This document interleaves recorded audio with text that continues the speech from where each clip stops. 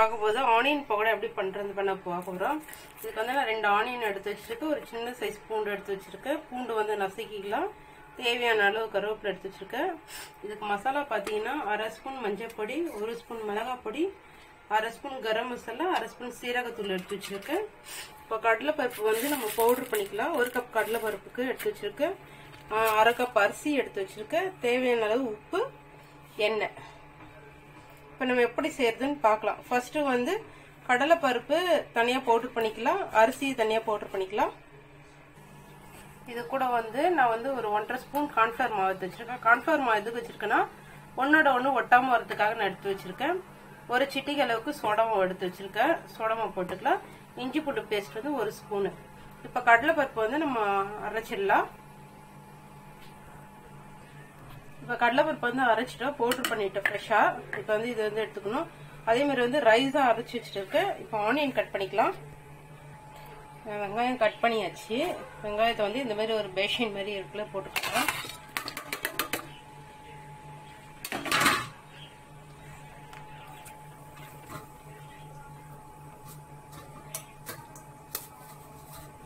போட்டுட்டு இந்த வெங்காயத்தை வந்து இப்படி தனித்தனியாக பிரிச்சு பிரிச்சு விட்டுக்கலாம்.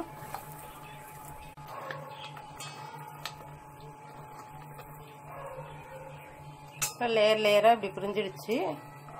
இப்போ வந்து நம்ம வந்து இதில் வந்து எல்லா மசாலாவும் ஆட் பண்ணலாம்.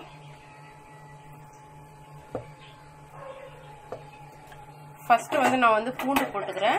பூண்டு ஆட் பண்ணியிருக்கேன். பூண்டு வந்து நான் நசுக்கி வச்சுருக்கேன்.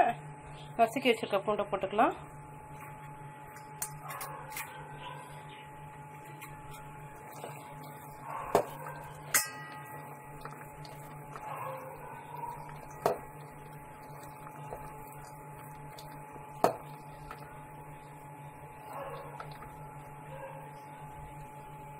கருவேப்பிலை கொஞ்சம் போட்டுக்கிறேன்.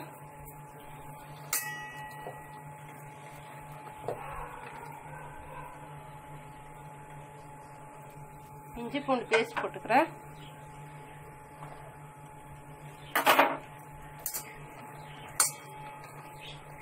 இது வந்து மஞ்சள் பொடி ஆட் பண்ணிக்கிறேன்.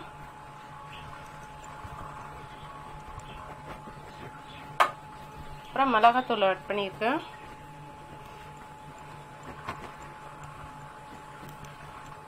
காரம் வேணுன்ற அளவுக்கு ஆட் பண்ணிக்கலாம்.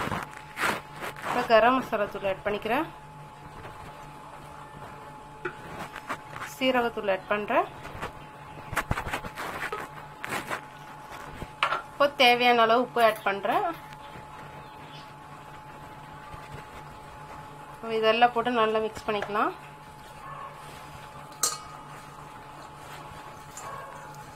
இப்போ ஒரு சிட்டிக்கு அளவு சோடமா ஆட் பண்ணிக்கிறேன். சும்மா ஒரு சிட்டைக்கு போதும் சோடா மாவு. அதையும் நல்லா மிக்ஸ் பண்ணிக்கலாம்.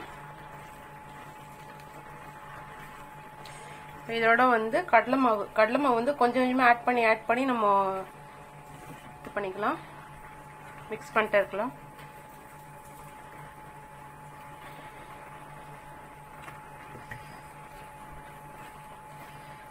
இதில் தண்ணியே விடக்கூடாது. தண்ணியே விடாமல் தான் பண்ணணும். அந்த ஆனியனில் இருக்க தண்ணியே போதும். எக்ஸ்ட்ராஸ் தண்ணியெல்லாம் ஒன்றும் வேண்டாம்.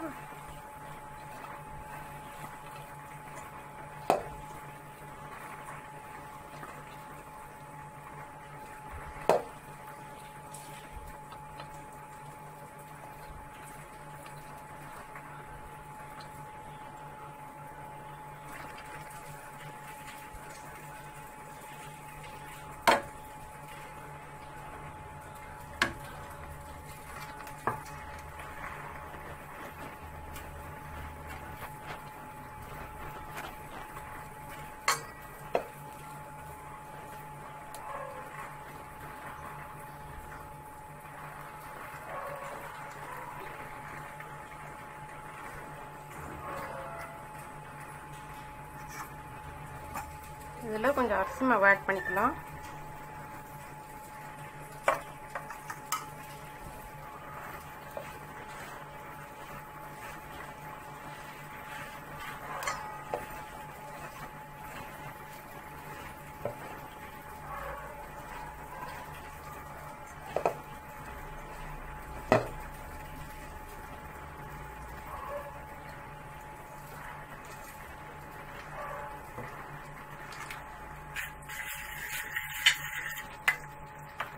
திரும்ப கொஞ்சம் கடலை ஆட் பண்ணிக்கலாம்.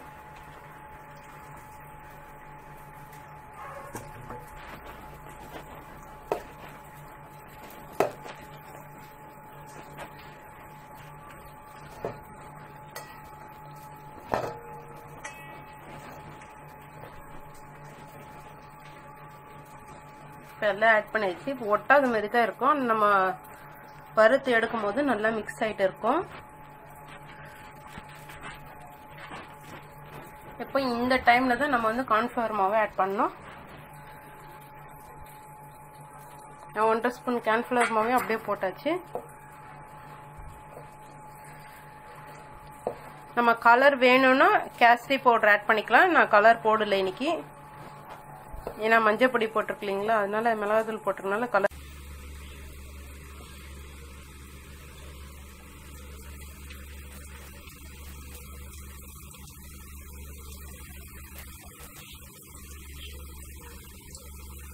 இந்த பொறி அடங்குற வரைக்கும் அது குக் ஆகட்டும்.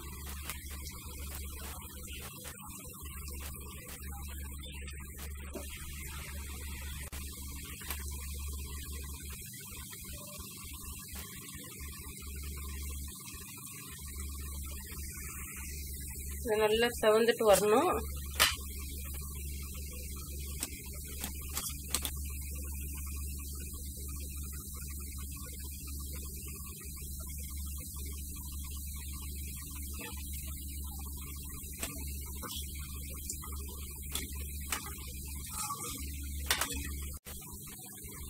நல்லா செவந்துடுச்சு